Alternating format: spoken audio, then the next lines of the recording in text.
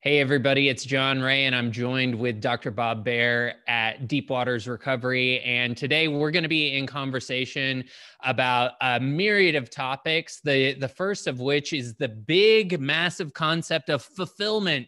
How do I get fulfilled in, in this life, Dr. Beare? Right, right. So I don't know. I just, uh, for, for those of you listening, I just spent a couple hours with my 20 year old daughter and I asked her, what, what do you think Jon and I should talk about today? And she said, fulfillment. And uh, uh, what she means by it is, is uh, I said, you mean living a life of meaning that has some meaning? She said, just something that I'm passionate about, something that I can feel that's pulling me. She said, this is my 20 year old. And uh, I said, wow, that's it. We do have to find a way to talk about that today. Something that's yeah in the world that's pulling me toward it, not because of my messages that say that I got to be a, I've got to do good or be good or do what they want me to do, you know? Yeah. It's, there's something that uh, falls more into the spiritual realm, I think. Absolutely. Yeah. Yeah. Well, I I think a lot of it for me has to do with you know you you always hear what are the things that you do when when you're not at work? What what are the things that you naturally show up for? And so for me that's writing in my journal every day like writing letters to to friends and and family. Like like i i whether I need to or not, I find myself writing a lot, and and so that's a kind of expression that you you know I like to key into because I know that it's something that I do almost on autopilot. It, it calls to me because I find it cathartic. I find it to be a, a, great way for for me to find clarity around some of my ideas. And and so, you know, step one for me has always been okay at this phase in my life. Like, what are the thing when when I have a free day? What are the things that I'm naturally gravitating towards, and can I build something around that? What what type of in in your own experience and those that you're working with what do you see mapping on to fulfillment? Like what's bringing people meaning? Yeah that's a topic that that uh, that i write about a lot in the creative fire. There's the, the book the creative fire uh, 10 weeks to emotional and creative fitness, which Jon has magically turned into an online program that's going to that's uh, you're going to be able to punch a button here. I think somewhere close to this video uh, very soon, which will take you to that. But I've spent quite a bit of time in there because this follow your bliss idea that we've all heard and was nobody heard of it, and then suddenly people started to hear about it, and then it was a bumper sticker, and then I saw it on refrigerator magnets. and now it's like everybody's heard follow your bliss, right? It's yeah. uh, actually came from uh, a guy named Joseph Campbell. Many of you might know he's a mythologist and, uh, and uh, early uh, in his life, he was also an associate of Carl Jung, uh, much respected academic person of depth, which all, don't always go together. Uh, that's why they don't teach about Carl Jung in most universities because it takes a certain amount of depth to teach it. All right. Mm. So have I gone completely off track here with this? Oh, follow your bliss. So, yeah, the rest of that sentence is follow your bliss, and doors will open that you didn't even know were there. Mm, yeah. To me, that to me that that is a, an incredibly important punchline that doesn't go on the refrigerator magnet usually because uh, we think that we have to make it happen that That's is right. the misnomer here. And I have it. Are you kidding? You and I were just talking about, oh, that's me. there's this building downtown and I've watched it go up and there's somebody there that's making that happen. It's an incredibly creative, but you better get a somebody in there to make that thing happen, right? It's uh, I have that in. We need one of those on our team, Jon. What the, you know? And Jon's going, oh, okay, thanks for sharing, Bob. Take a breath. you know, uh, that it, it is way more important. yes, it's important to have a plan, follow through with it. Uh, even more important, if if we want satisfaction, if all you want is to build shit and and to uh, to create products, then uh, this whole spiritual idea is, doesn't matter. But I, you know, building products has never satisfied anybody that I, in terms of peace and joy and depth and meaning and what my daughter calls fulfillment, right? Yeah. It's like, yeah, okay, good job, next job. Okay, good job, next job. That's not the energy that I want in yeah. my life. What I want is uh, to uh, trust that this universe has doors that will open beautifully, and I'll see uh, just. It, it, but I have to get still enough, and then this gets into your expertise, right? Mindfulness. I have to get still enough to let the waters uh, recede a bit so that I can even see these doors. right? Yeah. Right. I have to, and then it's also known as trust, trusting the universe. Yeah. Right. Is this a friendly universe or is this or or do I need to brace myself against it? What, what you and I were talking about earlier, the yeah. resistance that we have. We feel like we're waiting for it to be bad, right? Yeah.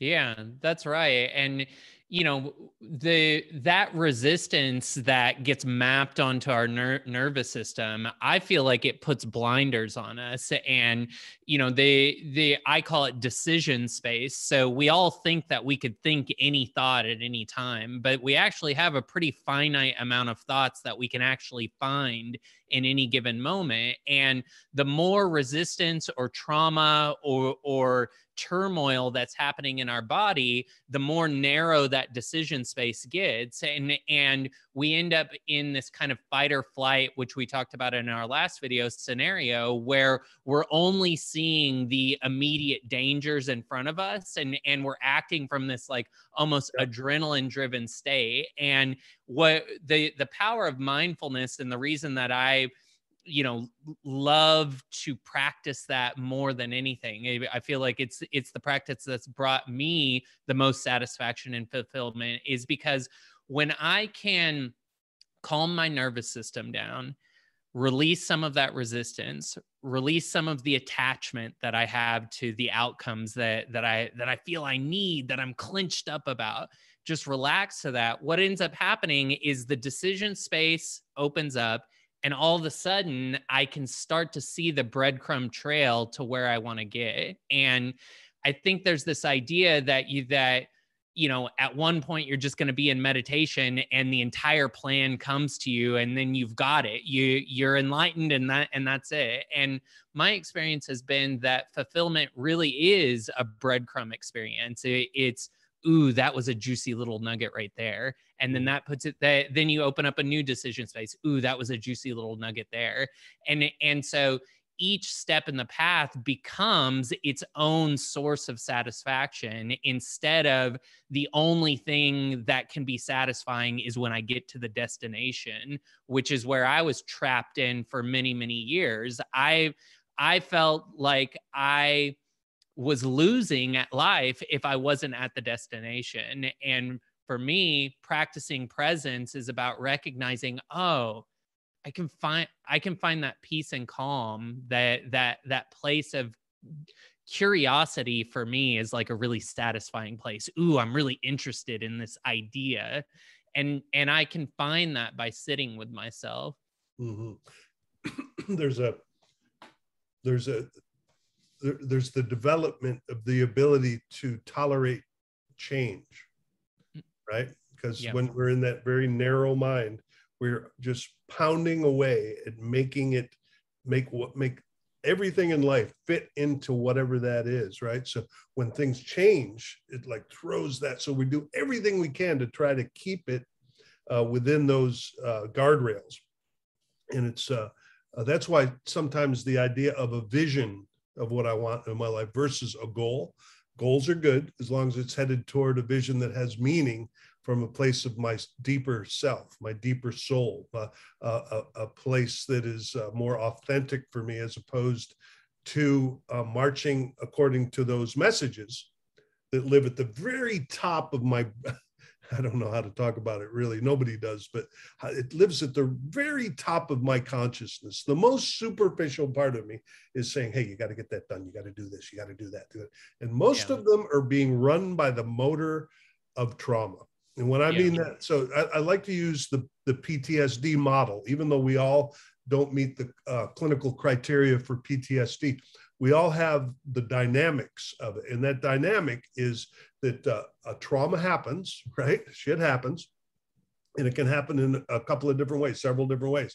Most of them people don't see as trauma, but it does reroute who we are. Of course, abuse and uh, uh, uh, shocking incidents. There's no there's no uh, uh, controversy about whether those are trauma or not, right? Yeah. But a little bit more controversy around abandonment and emotional abandonment, fathers who weren't there, moms who were smothering, and uh, you know, it's not about blaming anybody, but th- if this stuff happened to us, it's in our body and it's stuck there and it's running a lot of the show. Also, different ways of neglect. You know, it's living in ten different places a year as a kid or wondering if we're going to eat or uh, where's the money going to come from even though yeah good we're all from good families nobody meant to do any of that shit right we're all from good families but we also also have to look at this stuff without blaming and then there's enmeshment which is we all were trying to balance out our dysfunctional families and if you're not from a dysfunctional family please write to me because i want to meet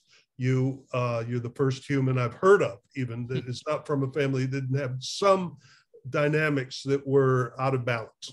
yeah. So when I say the PTSD model, I mean we have been affected by these things. And what happens is we start telling ourselves things about the world based on that, and we start living our life that way. That's and right. and what we're doing is uh, trying to arrange the world in this little bit of our short term. We're waiting for the bad shit to happen again. In other yeah. words, in PTSD, uh, for a war veteran, they're waiting for the bomb to go off again, so they can't even function.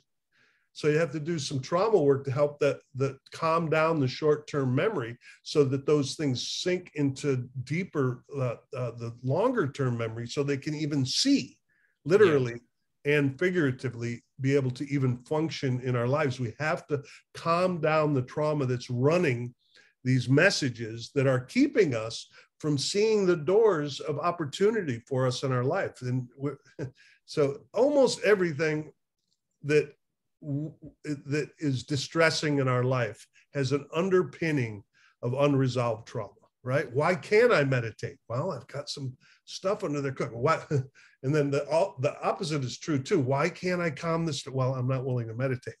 Right. Yeah. So it, they it's it's kind of a vicious cycle, and we have to one way or another in the combination of doing our deeper work. And what I mean by that is getting into the body, coughing up the hairballs, being with being with so, coughing up those emotional hairballs that have been stuck and it takes you know this is probably a little transition at some point to another conversation that uh, we talked about having, which is about group dynamics and how that helps with uh, transformation of uh, unresolved trauma. But what we want to do is clear the screen and take a few breaths, literally and figuratively, and be able to see those doors that are That's there. Right. All of them are right there, right now. Synchronicity. Dr. Carl Jung talked about synchronicity. Wow, how did that happen? I how could that have possibly happened? I didn't I met the right person at the right well, that right person probably would have been there anyway.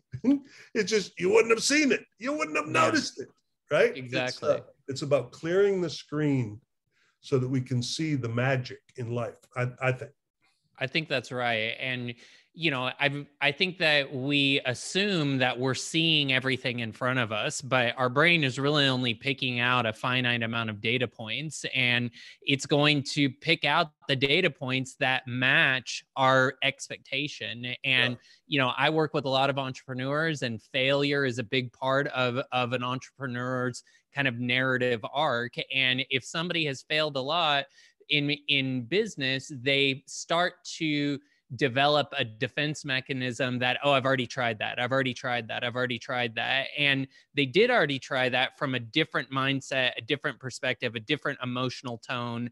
But but as they if, if we can put them in, in those scenarios and and help them release some of the resistance that they have to doing that again anytime you're doing something a second third time if you if you can recognize what you learned from the first time and then iterate in in the next edition then you can bring something new to the scenario and you can open yourself up to seeing new data points and the same motion the same action can play out very differently because now you have a new kind of sight that isn't clouded by all of the unmet expectations and trauma um, tell, telling you that something isn't isn't going to work. And and i think that it's one of the reasons that you know in entrepreneurship we we always talk about you know fail fail fast and and eh, or fail quickly get up and and keep trying be because there there is almost like an a, a mentality that like an athlete would have where uh, an athlete's not gonna nail the the jump every single time but with enough practice with with enough muscle memory then those motions become eh, very easy and one one of the things that um, Dr. John Demartini talks about is how the Latin root of the word passion, like everybody wants to be in their passion. I want to find the thing that I'm passionate about, but but the Latin root of passion um, actually means to suffer.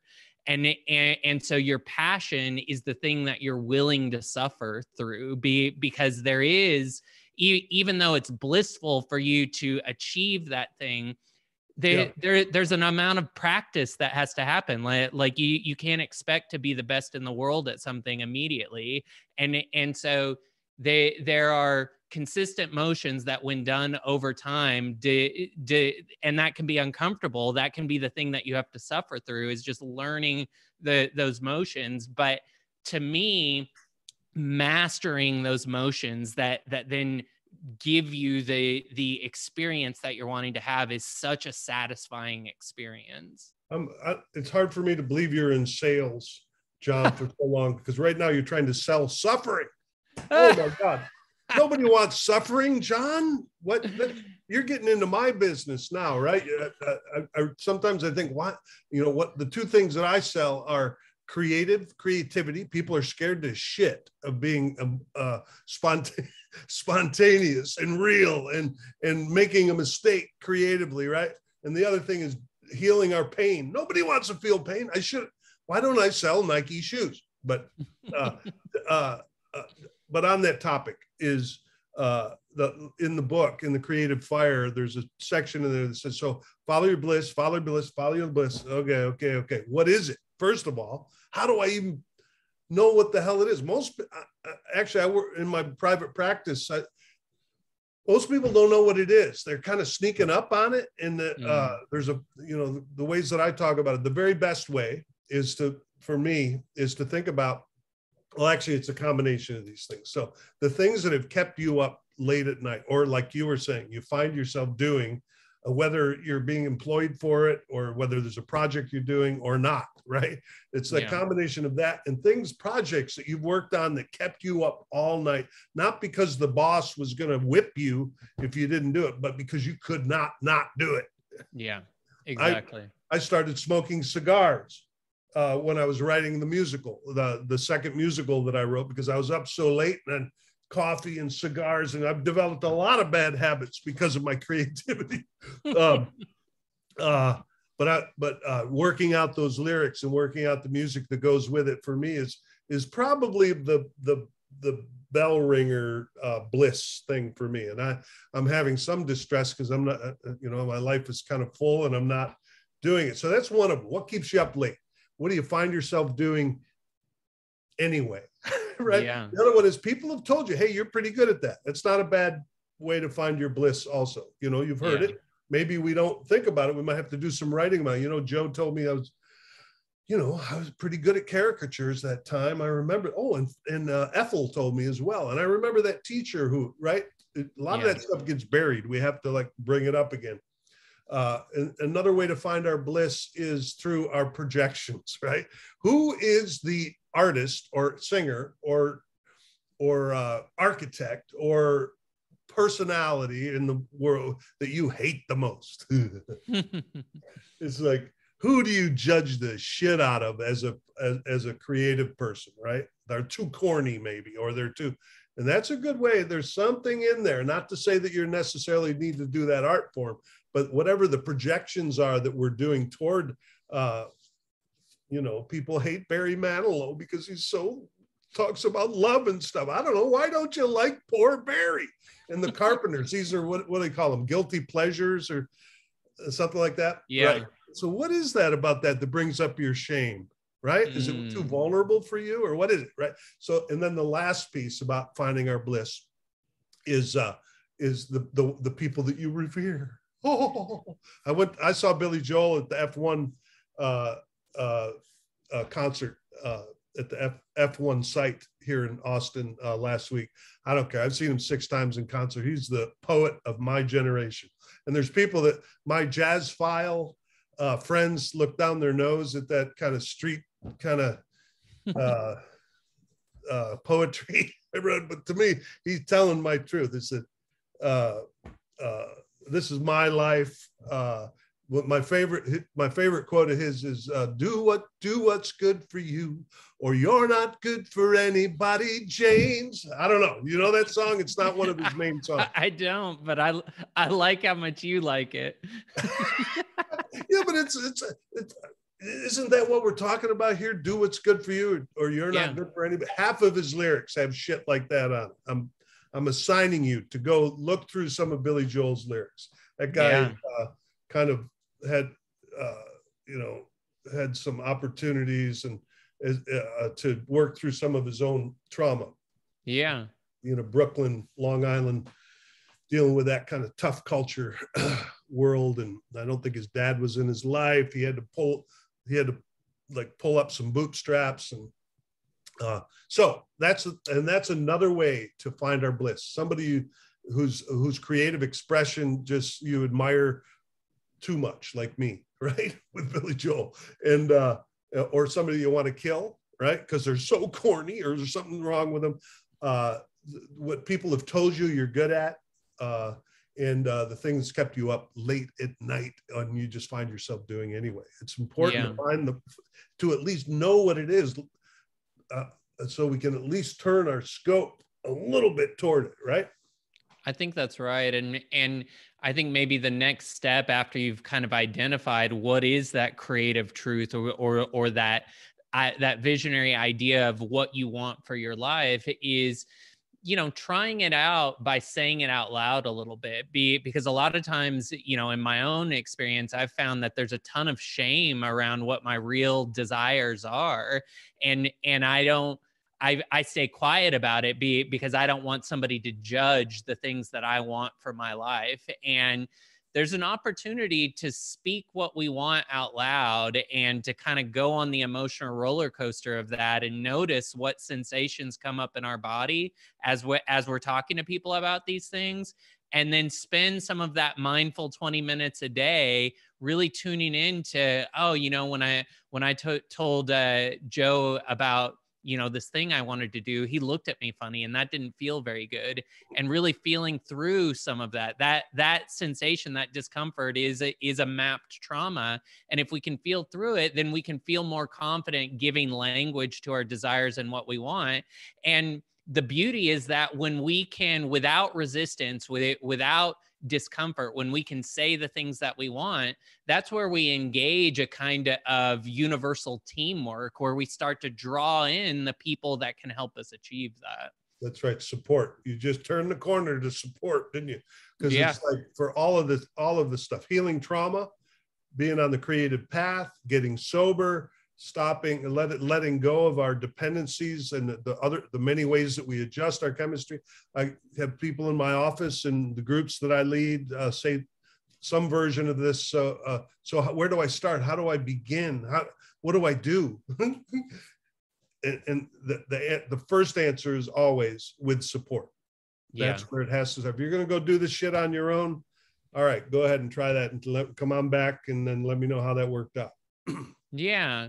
So let's get into a little bit, you know, what kind of group support looks like. Somebody may not be familiar with with that kind of scenario. So maybe you can unpack what that is and and why you feel it's valuable and you know, the a lot of people that I speak to want to just do something they'd prefer to actually sit with themselves because it's really scary to to have to sit with themselves in a group to be seen in their vulnerability. And so maybe you can talk a little bit about why the group dynamic provides such a potent healing environment.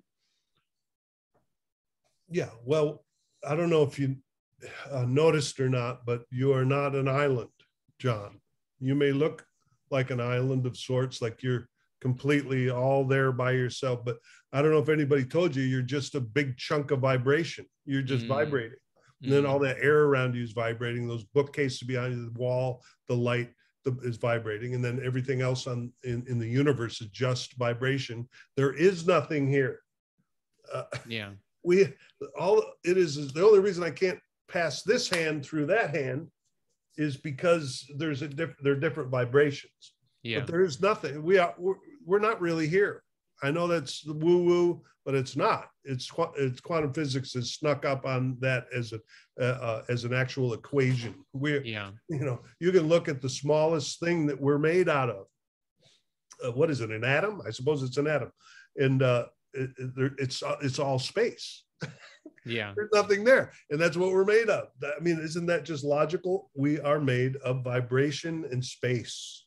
Yeah. Therefore, we are connected. Whether we want to like tell ourselves in this tiny little brain of ours that we're not connected that i'm uh, isolated that i'm uh, uh, you, you know just practically we are connected right?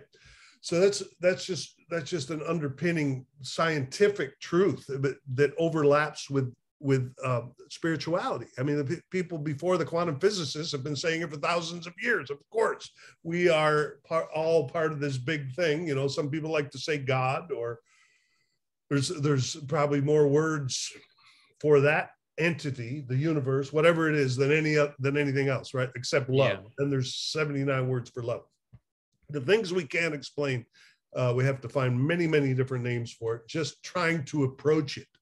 Yeah. but but uh, you know, w- most of us got wounded in groups, right? In our families, at school, whatever. We got shamed, you know, even not not intentionally. We're not blaming anybody. We're all from good families. Thank you, mom. Thank you, dad. Thank you. You all did great. And uh, we uh, like I've wounded my daughter. I'm a create creativity guy and a healer and all this stuff. And I know I have an attitude sometimes with her. She told me when she got a bad grade, I said, Well, what are you worried about, sweetie? You're doing great, all that. And uh, she said, Well, I'm really only worried about one thing. What's that, sweetie? Your opinion about it. Mm.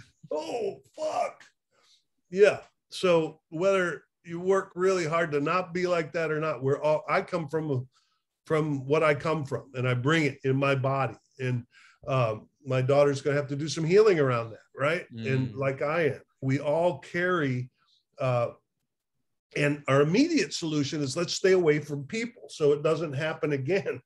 Yeah. unfortunately, uh, as you'll find out if you were to join a psychodrama group or a bioenergetics group or an experiential therapy group of any kind, you'll find uh, that that's kind of the deep end of the pool. Or if you come to the deep waters intensives or one of my groups, uh, that we're doing uh, mostly on Zoom these days. You, it's a little bit about that's a little deep end of the pool if you're brand new to the work. Uh, a, a, shallower end of the pool is a is a 12 step group called uh, Adult Children of Alcoholics and Dysfunctional Families, which we're all from. Uh, please send me the email if you're not from a dysfunctional family. I want to meet you. Uh, but that's a place where you can kind of stay a little bit isolated and be a little vulnerable, but you don't have to be vulnerable at all if you don't want to. And it's it's fairly easy to find a meeting online. Uh, but the dynamic here's the main dynamic. I hear you being vulnerable, talking about something. Maybe you're not doing it perfect, and you're having a little bit of pain about it, and then suddenly. I have the ability to talk about my pain that I hadn't been up till then because it wasn't safe. At least psychologically, I didn't think so. But then in person with someone, when someone else, uh, I feel like I'm there with somebody that's been there, that's been through it, I can start talking about it. And mm. uh, it's not just uh, rhetoric here uh, that, that I'm putting out here about the importance of starting to talk about things that are emotional. It's physical because something moves in me and then maybe a tear starts to come. And that is the river that begins to heal our trauma, which yeah. will lessen the messages that have us blocked from living our bliss. It, it it's it's it, why cheat yourself out of the very best way to get rid to to uh, transform those those lodged uh, uh, uh, traumatic uh, chunks that live in our body that are running our life. Why would we avoid the opportunity to fast forward that healing uh, space, which happens in groups? It's yeah you know you can do it on your own. You can get the creative fire and hide in your bedroom and and uh, you know do the worksheets but there's going to be a point in time when you're going to want to fucking connect with somebody i'll promise you. That's right. And it's it, it's deeper faster in in my experience. I mean one one of the beautiful things about being in a group where it's okay to be vulnerable is that when when there are people that are seeing you as you really are and holding that space for you and making it known you know energetically for lack of a better word that it's okay to be whatever you need to be in that moment that emotion just comes to the surface in a way that it it can happen in, in an individual practice but it really requires that you do a lot more of the a lot less. Like you, you, know like like the the old adage uh, everyone should meditate 20 minutes a day unless you don't have 20 minutes then you should meditate an hour. Like right. that's the kind of commitment that an individual practice requires. And group for me was always something where it was like well I don't trust myself to show up for myself, but but I I will show up for the group because I'm still working through some some of the the projections where I have to show up for others, and and so I I think what I always loved about the rooms in in AA was that you would show up and and there would be the same cast of characters, but then there would be a lot of new faces that you hadn't seen every single night.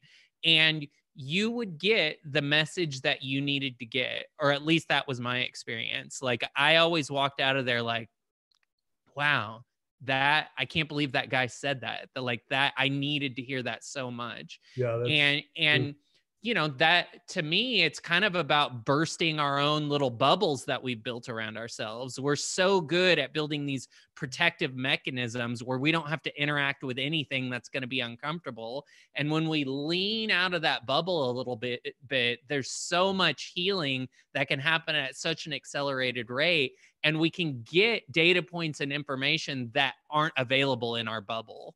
Really important points you just made it's uh, uh, the for, for folks that are brand new at this, I always tell them go to six meetings because it won't be the bl- you won't be the blissful Jon that you're seeing here uh, at first. You're going to judge the shit out of everybody in the room and how that's almost part of the fun of it. yeah, it's like in, in, fact, I tell you know some counselors say go go look for the the um, uh, similarities, right? I say, no, go have fun. I want you to pick out the people that you know you're not even close to, that you're not even like. You know, you don't have to be nice in your head and yeah. these things. And, uh, but to get to six meetings, because by the sixth meeting, uh, that the shame that is driving the judgments has lessened, right? Yeah. And by then, maybe you've even said a couple of things in a meeting where you might even feel connected a little bit right? It's very yeah. much and, it, and it's very much uh, like exercise for folks that know about going to the gym. Oh my god so much pain the first couple of times right? Because it's you're using muscles you're not used to. And yes. it's going to feel the same way as we loosen our trauma. Uh, you know all the substance abuse uh, uh, programs like AA, CA, NA, all those, they're fucking spectacular for stopping that putting that stuff in our bodies. It's in fact the only thing that works for that. Um, mm-hmm. Um, they're not always that trauma informed. I mean, there's going to be guys in there say, I don't care what you're feeling or what happened in your childhood. Just put that shit down and I'll meet you tomorrow. We'll talk more about it. Right. and I, you know, I needed some of that tough love in the early, uh, uh, just to be, just to wake up from the, you know, medicating myself. Yeah. Uh, uh, but we're not necessarily going there to heal our trauma. Uh, but you know, after a few meetings, you're going to pick out the people that you can that you feel safe with, right? Just remember, when we start going to these meetings, there's crazy people there. There's alcoholics and crazy people like me and Jon, and uh, to expect it to be run perfectly is an expectation that will be dashed. That's all right. but with time, if you get to six meetings or so, uh, the, you'll find the rhythm. It's almost uh, universal. Yeah. And you can sit on the outskirts for a hundred meetings, as as many as you want. But but there is a point in time where I didn't want to be involved at all. I wanted to. The first time I had to go was court ordered, so so I was just on the outskirts, not participating at all. and there's an interesting moment where you almost feel called to share something and and it's it's almost like you have to vomit it out and and when that happened to me and then when it was received without judgment and and I was able to say it out loud they something shifted where all of a sudden like i was i wasn't on the outskirts anymore. I was a part of this mechanism this organism that that was gathering naturally here and and and it, was it was a shift it was a a mindset and emotional heart state shift and that's really the only way to that i can explain it but but it was powerful and and it is something that I highly recommend anybody experience experience. And and you know if if if AA isn't isn't your flavor, I, you know I totally get that. It could be an improv theater class is almost the same type of experience, and I I've done both, and I found them both to be incredibly valuable. Well, AA should be your thing if you're an alcoholic. I mean, if you know you like putting that poison in your body and can't stop or it's causing you problems, then AA probably the place you ought to go move through your resistance. Mm. but there is a 12 step program for just about everything, including art. Uh, actually, I don't think art uh, Arts Anonymous is still cooking anyway, possibly in New York City, but uh, almost for uh, everything else. Um, yeah. and, and of course, uh, you know, if, if the 12 step thing, if you're afraid they're going to make you say the word God, which they won't. Uh, you know, it's just a metaphor for getting connected versus being isolated, right? Uh, yeah. But if that's not your thing, you can find a good therapist, and I would recommend you find somebody that, uh, like if if uh, a somatic experiencing therapist, that's a good thing to search because they will take you into your body, which is where the solution is, right? Yeah. Uh, also uh, anybody that's trained in psychodrama or bioenergetics or core energetics or those folks that know about the uh, the, the the the way that our that we get stuck that it's not just our brain. You know most psychology uh, is teaching that it's all about uh, cognition and behavior. And it is but it's being driven by our unconscious lodged trauma in our body. Uh, anybody that's psycho, if you see the phrase psychodynamic, you know you're at least with a practitioner who understands that the, the what's underneath the surface is what driving is what drive drives us, right? And yeah. Uh, any anybody that has Jungian, uh, uh, Dr. Carl Jung in their in their uh, resume uh, are, are going to have that, that, that orientation, and it's not it, you know it's it's not i have a bias toward it not just because uh, i intellectually think that it's more mature I, i've had 31 years of trying the to think my way into better behavior or behaving my way into better thinking mm. over and over and i just snap back to whatever the old wound is that is unhealed and it takes yeah. a certain kind of ma- mature mastery to facilitate that transformation mm that leads me into something that you and I had had texted back and forth a little bit about, and and it's the concept of of letting go versus giving up, and and you know I think sometimes when you're in an AA meeting, there there can be a lot of talk about surrendering, and and if you're not used to that kind of language, it can feel like something that the warrior in you doesn't want to do, and maybe you can talk to me a little bit about the difference between letting go and, and kind of surrendering into a relief place versus giving up and, and kind of tossing everything away. Well, we only know this much. Anybody that's watching this on YouTube, it's like this, you can't even see it. We don't know much, right? So we're running on not knowing much. And if you want to know a little more, you better let go of the things that are keeping you in this little microcosm reality mm. and uh, it takes courage. It's vulnerable, right? The high, it takes way more courage to be vulnerable than it does to uh, be tough or to be have it all together. These things are easy, right? It's like mm-hmm. I'm I'm good. I'm good. How are you? I'm fine. I'm good. You know that's easy. Saying you know I'm really hurting right now. Uh, uh, I'm, I'm, I'm sad about, uh, and I'll just say uh, one of my sponsees knew a 15 year old girl who uh, died in a car wreck a couple days ago, and it just completely shattered mm. everybody's lives. and slowing down enough right now for, to let myself feel that is not where I want to go. But I know that that is the doorway to opening up, knowing just a hair more about mm. the breadth of the world, the breadth yeah. of my world, practicing to allow myself to feel the full range of my life. Yeah. Surrendering to the river. Because here's the deal almost everybody's trying to get happy, right? You ask them, what if you could get down to, well, I'm just trying to, I want to be happy in my life. I want you to be happy. We want, we all want to be happy. All right, whatever. I don't really use that word too much. I like the word joy because it uh, has a wider, uh, for some reason, something happening happen, happens more deeply in me when I use that word. But I've, what I've realized that that the river of joy and grief are exactly the same river. You get me mm. talking about this beautiful daughter of mine, and uh, I, am laughing and crying at the same time. It's the same river. I miss her. She's in college. Where is she? And she's doing great, and I love her, and it's so good. So it's the, yeah. the ability to feel the full range of my life.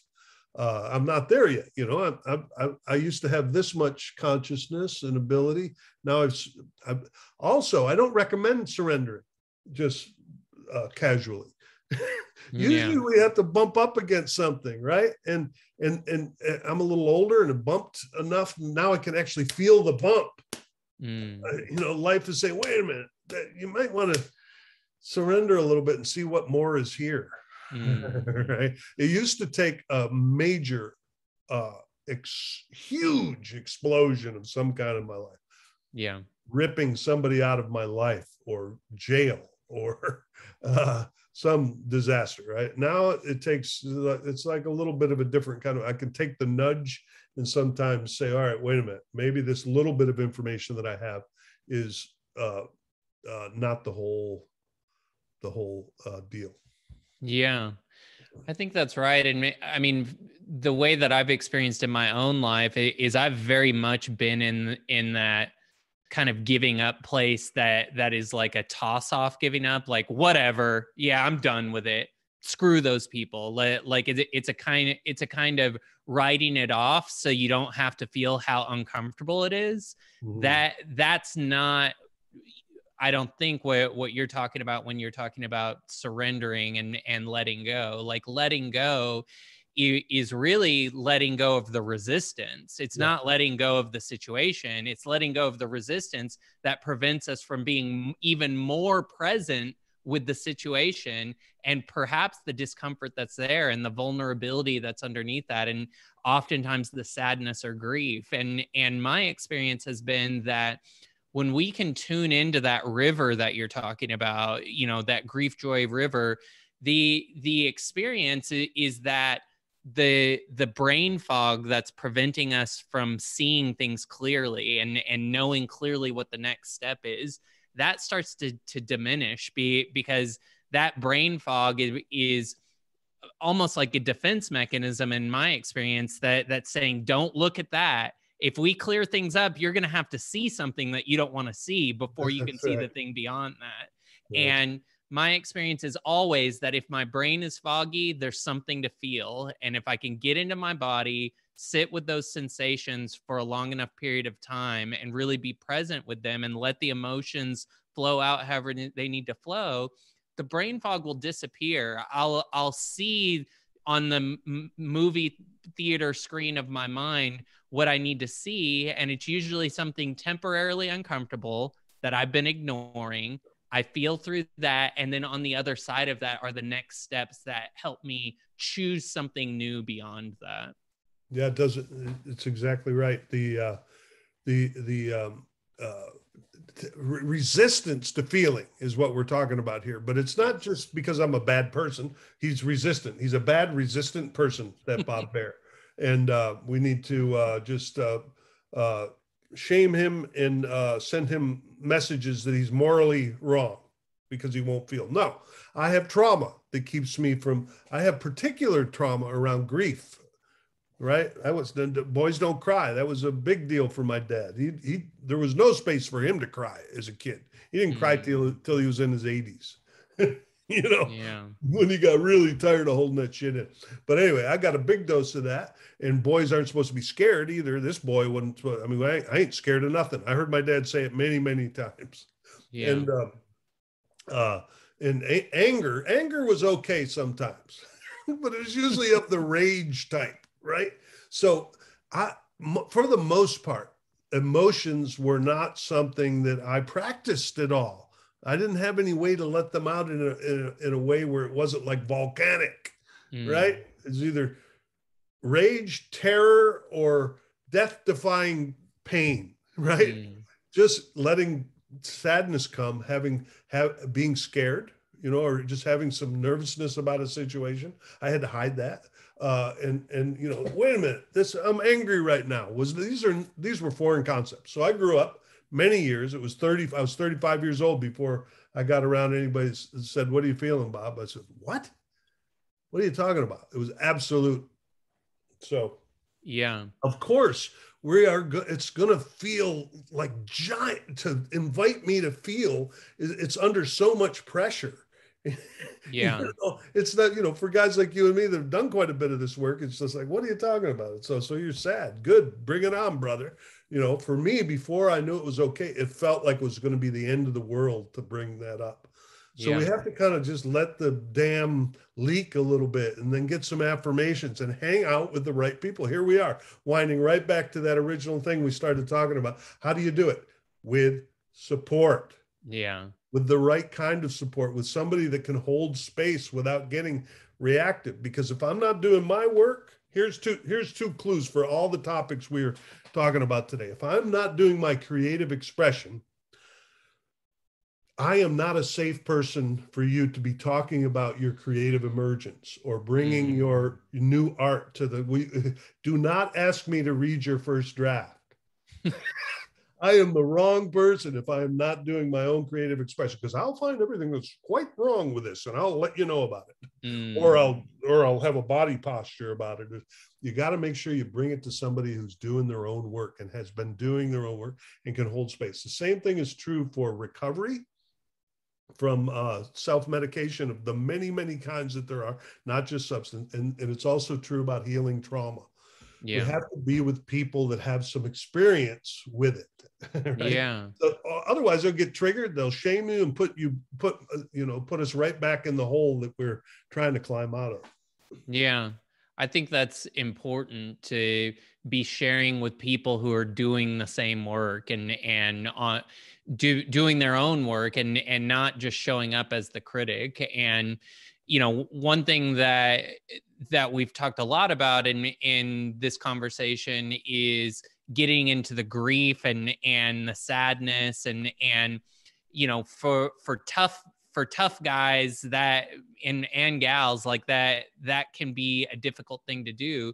But for people pleasers like me actually getting into the anger and and and finding that that caliber of expression and, and, and recognizing that it's okay for me to be angry or resentful about something and not always just take everything a, as a projection and and then blame myself for it. I think as a recovering people pleaser, they, there's always the tendency to just blame myself. Well, if I'd just shown up better, and and then I just choose out of the situation rather than having to deal with confrontation and and and sharpen the the the blade of the relationship a little bit. So, can you talk a little bit about when it's appropriate to to be anger angry and and how group support can kind of give us the space to practice some of those angry feelings when when maybe I mean most of my life I I didn't really practice anger.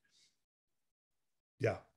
So uh let's see. Well, you've been there so you're acting like you don't know about it, but uh, Jon has done a lot of good. Uh, Jon is a really nice guy who also has a lot of anger underneath the surface, and I I happen to have the the honor of being present when you got some of that out, right? Because yeah, uh, you know, nice is not the whole story, right? Right. like right. nice is not even I don't even I don't even like it that much. Nice is sort of eh, to me.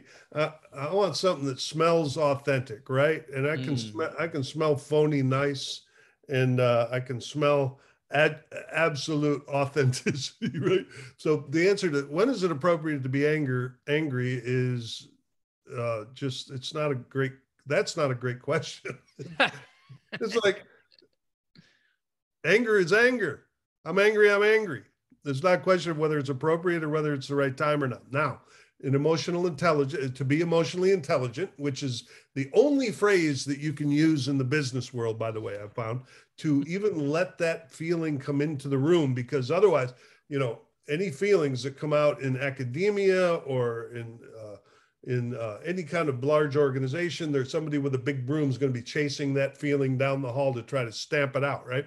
But mm. just in recent years, you can you can use the word emotional intelligence and get away with it mm-hmm. um, because uh, it sounds uh, like some advanced thing that uh, and also it's there's been enough press about it and there's now there's enough research about it that shows that it that uh, emotional intelligence equates to productivity oh yeah baby they're going to build shit for us if they're more emotionally intelligent so let's uh let's make sure we let that in the door okay right? so but the the main tool the main uh, skill of emotional intelligence is the ability to identify feeling mm. what am i feeling right now mad sad scared or joy right and this other one is to be able to have what's known as empathy which you know it's not really something corporate america is probably that interested in but it is a good skill set even if it's manipulative to have a sense of what the other guy's feeling right yeah. let's see wait a minute he's angry right now but most of us don't even have don't even have access to our own emotional capacity and if you don't have that you don't have the ability to read the room right yeah. at all so it, it's a useful tool. Uh, the the third uh, skill of emotional intelligence is um, the ability to what this is what I was trying to get to. The uh, most of the models talk about regulation of emotion, and then there's the Bar-On uh, uh, uh, model that talks a lot more about expression. So I think it's mm-hmm. both. It's uh, learning how to express our feelings appropriately, learning how to regulate it appropriately. They love that word there too, appropriate. Mm-hmm. And uh, then uh, uh, and then the big the, the the the punchline is what your work is, which is mindfulness. It's about being present. Like you know, you can the way I talk about that is you run into somebody, you can see their personality is up on their skin. It's up on the surface of them, as opposed to where is that guy? I mean, you can spend mm. half an hour with him and, and, never said anything that had any emotional resonance. Yeah. Right. So having presence. So those are the mm. four things. Knowing what I'm feeling, knowing what you're feeling, having uh, ex, uh, the ability to express and uh, and uh, uh, presence. Yeah. And what I found is that the more that I have allowed myself to express that anger, the more that I'm able to hold space for others to do the same. And you know, they I've heard that call, called um, letting someone storm, and and you're holding the space, recognizing that they're just getting it out of out of their system. I guess my my question for you is when someone is being angry with you where does it cross a line where it it becomes a, a kind of abuse or, or trauma and, and how as mindful mm. practitioners and coaches how can we hold that space but still draw a line when they where there's a clear boundary yeah so anybody that's been to a psychodrama uh, weekend or one or to the Braveheart experience or to uh, the deep waters intensives that uh, we do here. Uh, in any of these kind of uh, uh, uh, or, or bioenergetics or core energetics or the who are those other uh, oh the wild the wild people um, the uh radical oh oh, I'll get it before this thing is over, and I'll get it. But that it's like anything goes there. In other words, these experiential programs that kind of came out of the encounter movement in Esalen of the 70s have now grown into a better organized uh, uh, uh, strain of how to heal from uh, repressed emotions, uh, trauma. You know, at these things, you might uh, as you know, you know, out of context, if I'm going to, I'll tell you right now, somebody's going to listen to what I'm about to say, and they're going to say, "Oh, that's some, oh, that's oh, we can't be doing that," or or there there'll be somebody will get triggered. So I might be doing some work with you, and maybe you're playing some message that I carry. I might be saying, "Fuck you."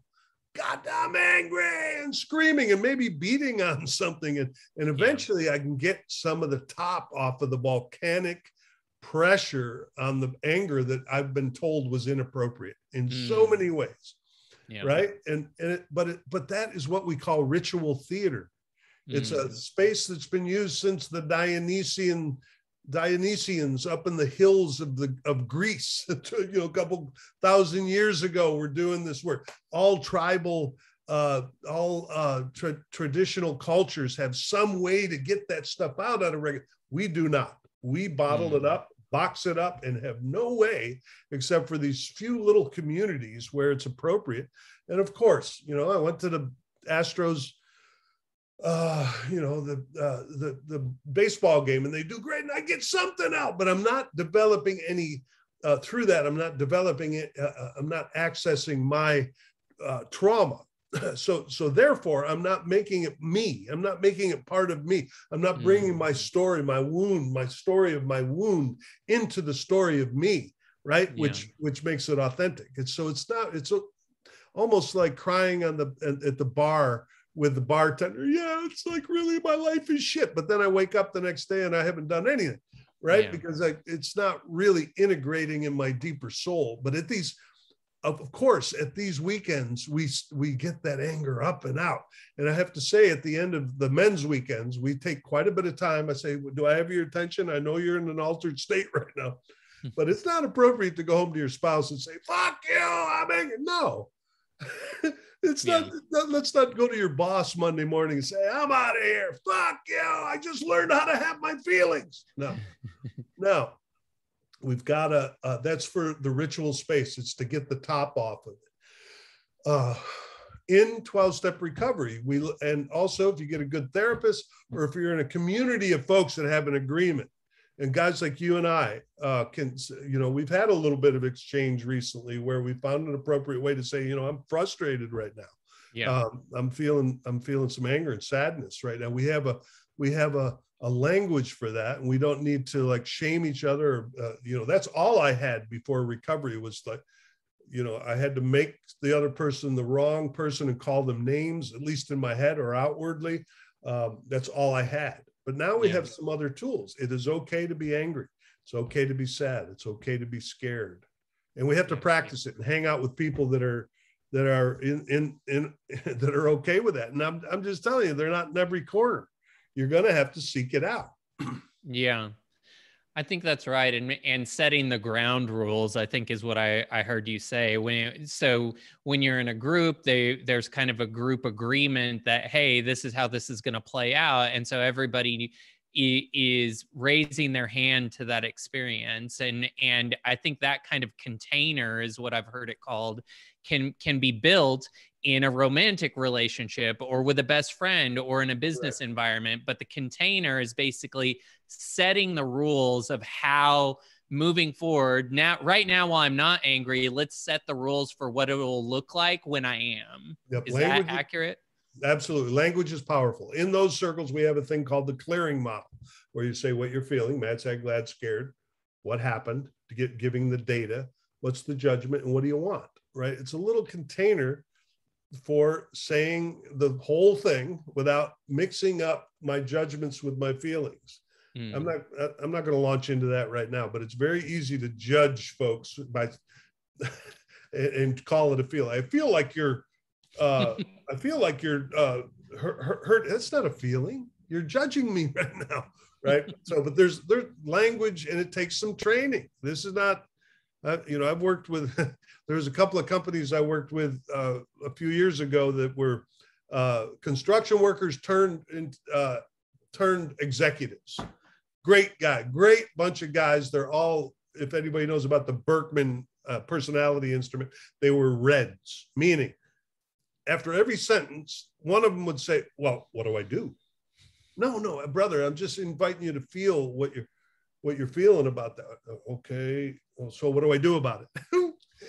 it's like um, so you know we have to develop these the, the, these uh, the, these skills and it takes practice and i had to actually give them the script try saying this and it will and it actually resonates in a feeling way in the body but if you don't know how to mm. do it and if you're not around anybody that's doing it it's going to sound like some really weirdo shit so it's uh uh but yes there and, and the same thing is uh, like the harville hendrix model of uh, couples therapy which i use when i'm working with couples. Very specific uh, dialogue model where we use the when you i feel model which is uh, better than the you son of a bitch model. Right? I'm not against a good argument but let's at least build a container around yeah. so can, uh, maybe maybe even get some validation and some empathy happening with the people closest to me in my life. Yeah.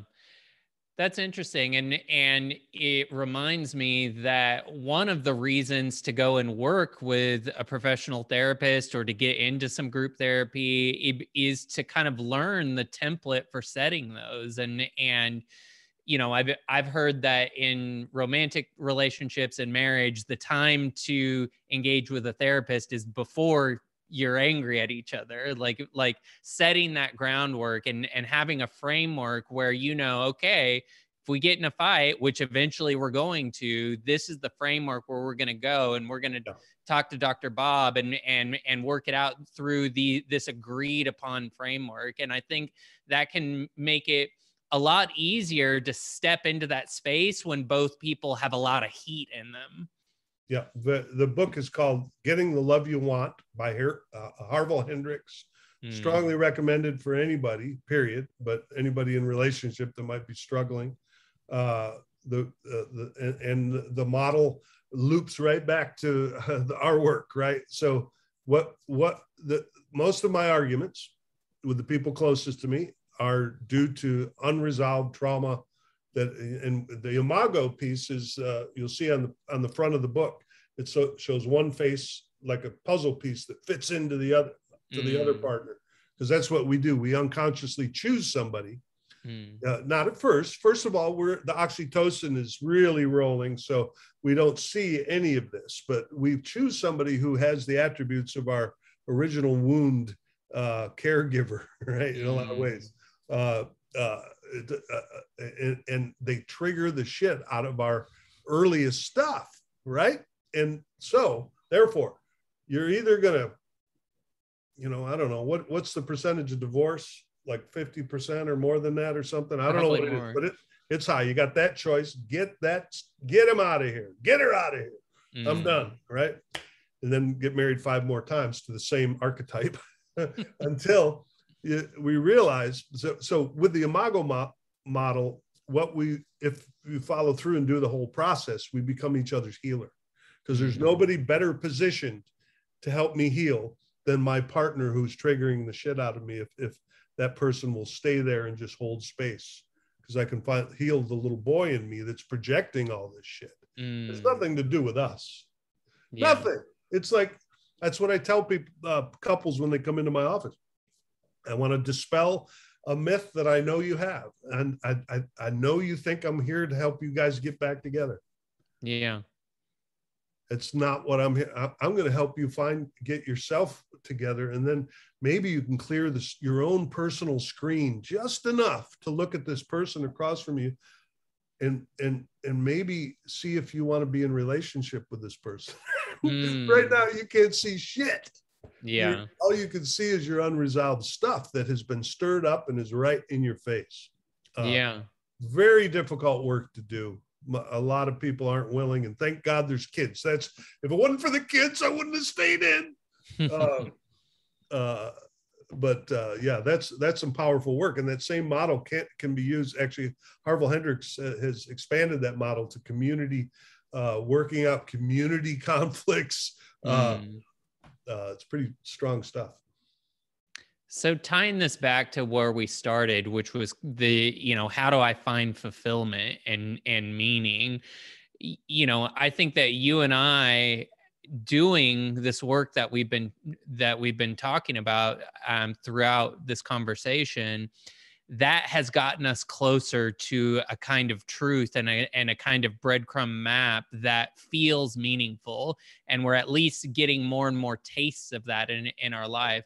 Can you maybe put a bow on this conversation and talk about how this work points to kind of uncovering what that um, place of fulfillment is going to be in your life?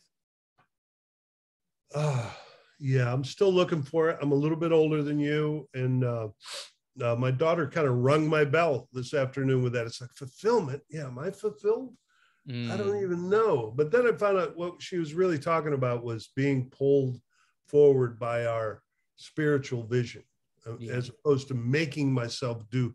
That's the to me that's the tipping point right there. When I'm when I'm because uh, the book that I'm writing uh, that should be there should be a button for that soon. Uh, is uh, stop doing shit you don't want to do. How unresolved trauma is running our lives. Mm. Uh, the tipping point of that is, of course, there's going to be a few things that we don't want to do in our life, but most of us are walking around unconsciously doing shit we think we're supposed to do. Yeah. The tipping point is, yeah, I'm doing a few things, but it's on my. I'm being pulled. I'm being. I'm. I'm being called. Right. It's yeah. almost like a calling, uh, because we are built as human beings, even though manifest destiny is not a very pretty picture in the way we have a we have a, a, a, a, manifest destiny to grow. We are built to grow, right? We're like a tree. Yes. The tree's going to yeah. grow. We're going to keep growing psychologically, everything. So when we plateau, it's not. It's okay to rest for a while, but we're going to have that need to grow, right? And yeah we want to grow toward our, our authenticity as opposed to growing toward our driven uh, unresolved trauma that's telling us what we should do it's that's the right. hardest work we'll do in our life becoming fulfilled and, yeah. and being fulfilled being full and filled with it's a you know it sounds corny but it's a spiritual filled with spirit right filled with yeah. a soulful magic uh, hmm. that, that brings us toward our authenticity and the world will and the world will be a better place. Some shit like that, right? The world will be a better place for it. If uh, if I'm not doing battle within me, I won't be creating battles out here. I think that's probably a pretty good equation, also. All right. Yeah. I think that's a good bow, and and I guess my my final tag to that would be, you know, the experience that I had for many years after white knuckling my sobriety was that I felt like a robot and I felt like I was starting to experience life in in a kind of black and white numbed out way. And the beauty of getting into some of that sadness and grief was that the color came back online and I could see that full spectrum. And that full spectrum is not always sunshine and roses but it's fucking beautiful at every point and i think that for me that is the fulfilling thing is being able to see with that kind of vivid clarity. Mm, nice. So with that dr bob thanks for being here with me and and being in conversation. If you heard anything that resonates I would encourage you to check out deepwatersrecovery.com. We've got all kinds of tools and resources that live there for you to dip your toe into the water or dive right into to some of this work. And if you're curious what I'm up to, you can go to awaken-entrepreneur.com. I'm Jon Ray, Dr. Bob Beare with Deep Waters Recovery.